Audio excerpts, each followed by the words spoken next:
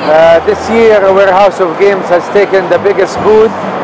Uh, we've been attending uh, the deal show for the last uh, uh, 20 years or so.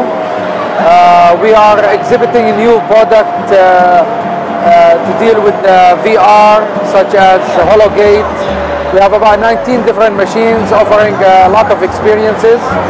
The deal show has been a great success for us because this is where we exhibit our new products and uh, we feel uh, uh, the market uh, is getting better and we hope uh, uh, to have a much more success in the coming years.